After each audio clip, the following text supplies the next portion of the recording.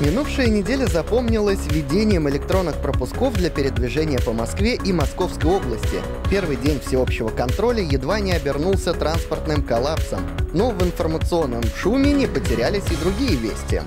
Российские автозаводы приняли меры предосторожности и возобновляют работу. Реформа техосмотра с введением обязательной фотофиксации и электронных диагностических карт отложена до марта 2021 года.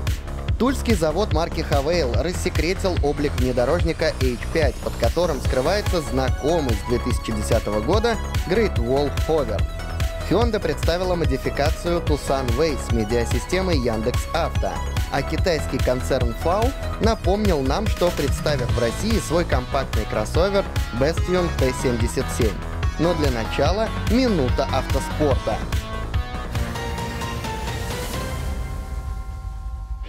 Программе развития российского автоспорта SMP Racing исполнилось 7 лет. Первым соревнованием для нее в 2013 году стала гонка «Три часа Монцы». Это первый этап сезона Бланпа Endurance Series — а самый громкий успех пришел во время прошлого спортивного сезона. Экипаж команды SMP Racing, выступающий на российском прототипе BR1, впервые в истории марафона 24 часа Лимана поднялся на подиум в абсолютном зачете, завершив гонку на третьем месте. Кроме того, в прошлом году воспитанник программы Роберт Шварцман выиграл чемпионат Формулы-3. До этого из наших соотечественников его выигрывал только Даниил Квят в далеком 2013 году, когда серия называлась GP3. Также российские гонщики оказались успешными в европейском чемпионате Формулы Рено. В 2017 году третье место по итогам сезона завоевал Роберт Шварцман, а в 2019 году Александр Смолер. Кроме того, пилоты SMP Racing вошли в состав российской делегации на первой автомобильной Олимпиаде — международных автоспортивных играх, которые прошлой осенью прошли в Италии. Победу в командном зачете отпраздновала Россия. В минувшую среду сотрудники ГИБДД начали проверять электронные пропуска у водителей, въезжающих в столицу. Заторы образовались почти на всех крупных магистралях. Похожая ситуация в метро. Пассажиры выстроились в длинные очереди, ожидая проверки электронного пропуска. Поэтому уже через несколько часов всеобщие проверки пришлось снять как на дорогах, так и в метро. Московская мэрия пообещала реализовать автоматическую проверку пропусков, привязав их транспортным картам «Тройка». Но как именно это будет работать, пока не ясно. Напомним, что 15 апреля пропускная система заработала одновременно в Москве и Московской области. Каждый, кто передвигается на личном или общественном транспорте, должен оформить бесплатный пропуск на сайтах мэра Москвы и губернатора Подмосковья посредством смс-сообщения или через единую справочную службу. Как в столице, так и в области штраф за езду без пропуска на личном автомобиле составит 5000 рублей. При этом на штрафстоянку машины эвакуируют только у тех водителей, которые обязаны соблюдать карантин. Заметим, что штраф пока выписывают только инспекторы полиции, а дорожные камеры по-прежнему отслеживают нарушения правил дорожного движения. В систему уже внесли номера автомобилей, чьи владельцы заразились коронавирусом или обязаны отбыть карантин. И по данным с камер, полицейские отслеживают маршрут и задерживают нарушителей. Однако рассылать штрафы в автоматическом режиме по закону невозможно. Административный кодекс разрешает наказывать собственников транспортных средств только за нарушение правил дорожного движения. Если финал европейского конкурса «Автомобиль года» все же успели провести в полупустом павильоне Палэкспо в Женеве, то последнее голосование конкурса «Всемирный автомобиль года» прошло не на Нью-Йоркском автосалоне, а целиком в интернете. Главный титул «Всемирного автомобиля года» неожиданно получил Kia Telluride. Будем считать, что корейский кроссовер наградили авансом, ведь пока модель продается только на рынках США и Канады, и статус всемирного явно преувеличен. В тройку призеров также вошли сразу две Mazda, семейство Mazda 3 и кроссовер CX-30.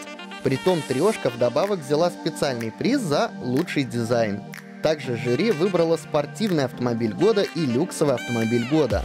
Обе номинации достались электрическому седану Porsche Taycan. Четвертая категория — городской автомобиль года. Здесь тоже победил электромобиль, но уже более скромный — Kia Soul EV.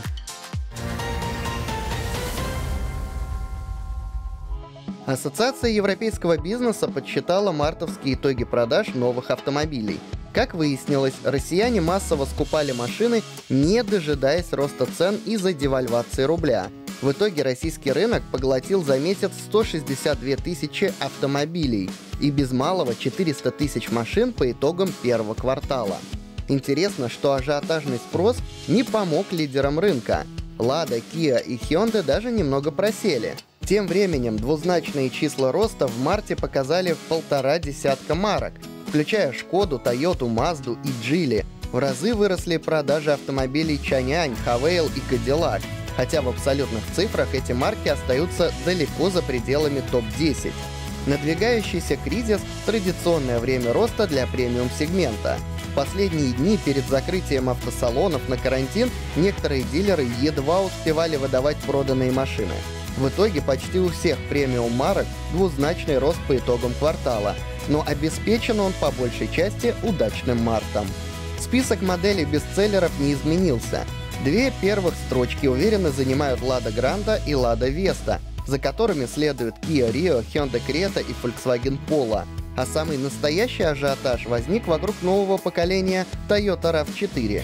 Интересно, что выдача автокредитов в марте выросла на 3% в штуках и на четверть в денежном выражении. Средняя сумма увеличилась на 20%.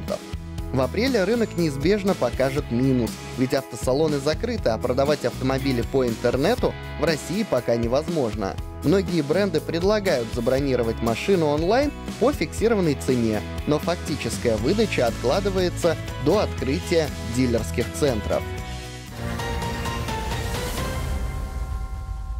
Закрытие автосервисов заморозило и гарантийное обслуживание машин.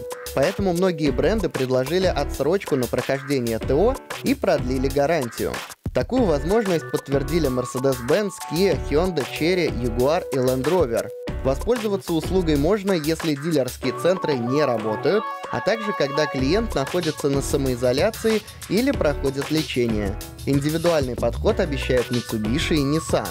У разных марок условия отличаются, но, как правило, указан срок до конца мая. Вероятно, аналогичные меры вскоре примут почти все компании. Для возобновления работы российским автозаводам пришлось предпринять защитные меры от закупки масок и термометров до реорганизации производств. Так на автовазе разнесли время начала работы конвейеров, чтобы избежать массового скопления людей на проходных.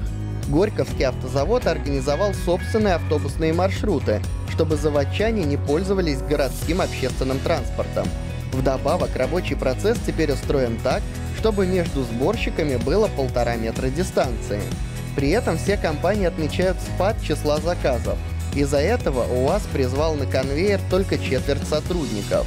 Завод Hyundai под Санкт-Петербургом перешел на односменную работу, на Елабужский завод Ford Solars, где выпускают транзиты, вызвали только тех, кто занимается производством и отгрузкой автомобилей.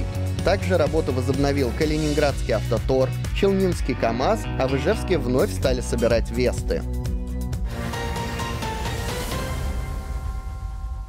В ряду автомобильных марок грядет пополнение. Вскоре на рынок должен выйти новый бренд ТОК из Турции. Первые прототипы президент страны Реджеп Таип Эрдоган представил еще под занавес прошлого года.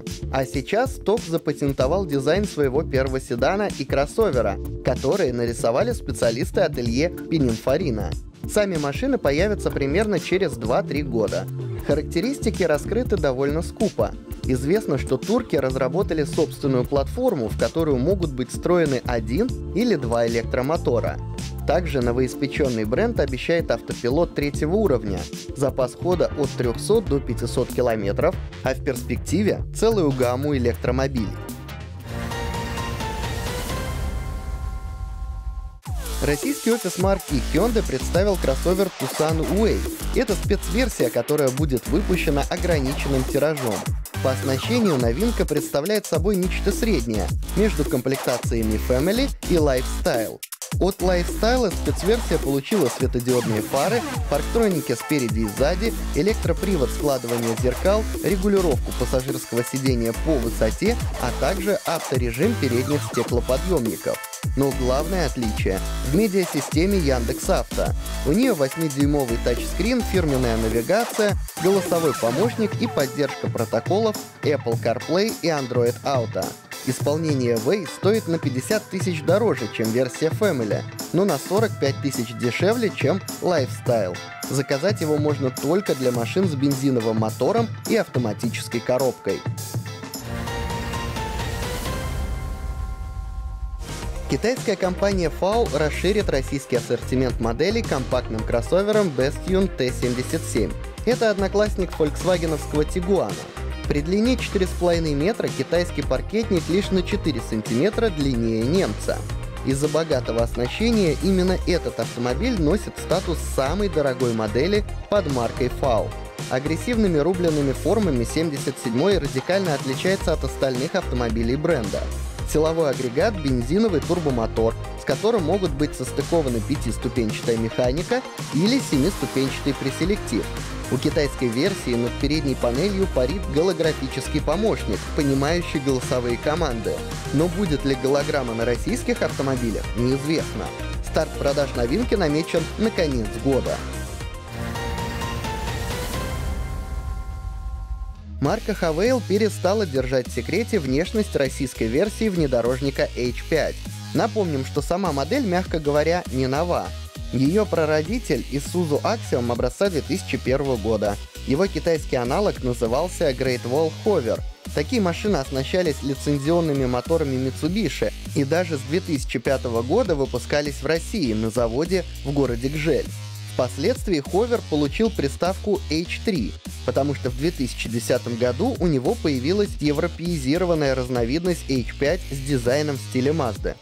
Но если пятерка покинула российский рынок вскоре после кризиса 2014 года, то исходный третий ховер спустя три года вернулся к нам под маркой Hauer. И вот теперь, когда материнский Great Wall сосредоточился на пикапах, его дочерняя фирма Havail уже на собственном заводе в Тульской области снова запускает модель H5. Показаны официальные фотографии и объявлено, что внедорожник получит раздаточную коробку Borg Warner. У нее подключением передних колес заведует многодисковая муфта с электромагнитным управлением. Также раскрыт состав комплектаций, хотя цены остаются тайной. В базовую войдут климат-контроль, задний парктроник, медиасистема, плюс обогревы лобового стекла и передних сидений. Топовом исполнении добавится отделка салона из эко-кожи, камера заднего вида, а также датчики дождя и света и электропривод водительского кресла. Кстати, для старшей версии можно будет выбрать отдачу двухлитрового турбомотора на 150 или 177 сил. Коробка передач заявлена только одна шестиступенчатая механика. И это значит, что маркетологи Хавейла нашли для старичка многообещающую рыночную нишу. Ведь полноприводников с механической коробкой в России осталось совсем немного. В России начались заказы на пикапы Isuzu D-Max с доработками компании Arctic Trucks. Исландское ателье специализируется на серьезном внедорожном тюнинге и уже занималось моделями Isuzu. Но теперь речь идет о модернизированной версии, ведь в прошлом году D-Max прошел рестайлинг. Вместо 2,5-литрового дизеля появился трехлитровый мотор и новые коробки передач, шестиступенчатая механика и автомат. И вот для этого пикапа Arctic Track предлагает свой пакет доработок. Интересно, что арктическое исполнение можно заказать для всех Димаксов с любой трансмиссией, с одинарной или двойной кабиной. Базовый пакет стоит 650 тысяч рублей. В него входят шины внешним диаметром 35 дюймов, перекалиброванный спидометр, бамперы и расширители арок. Подвеска приподнята на 10 мм, а кузов на 30 Доплатить сверху можно за металлическую защиту двигателя и коробки передач, пневматическую блокировку межосных дифференциалов, лебедку, кунг, шноркель и другие внедорожные атрибуты.